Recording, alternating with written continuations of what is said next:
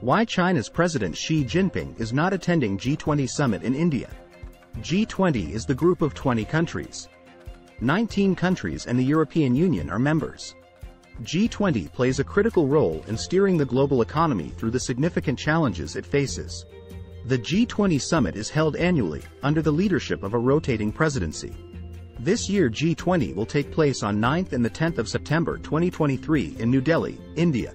Under the Indian presidency, the G20 in 2023 will focus on the theme, One Earth, One Family, One Future.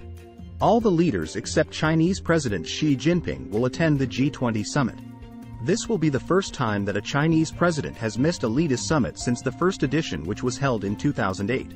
Russia's President Putin is also not attending the summit, which is again a significant development.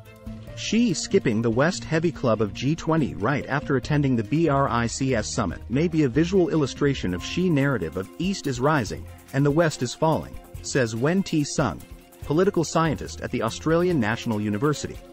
It is also believed that Xi is not attending to show solidarity with Putin. Alfred Wu, associate professor at the Lee Kuan Yew School of Public Policy at the National University of Singapore, however believes that Xi might be reluctant to travel abroad, given his focus on domestic issues. Some analysts also said that Xi absence from the G20 gathering could also be seen as a snub of host India.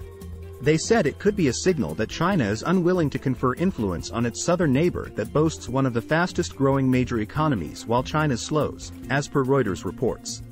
Ties between India and China have been also troubled for more than three years after soldiers from both sides clashed on their disputed Himalayan frontier in June 2020, resulting in 24 deaths.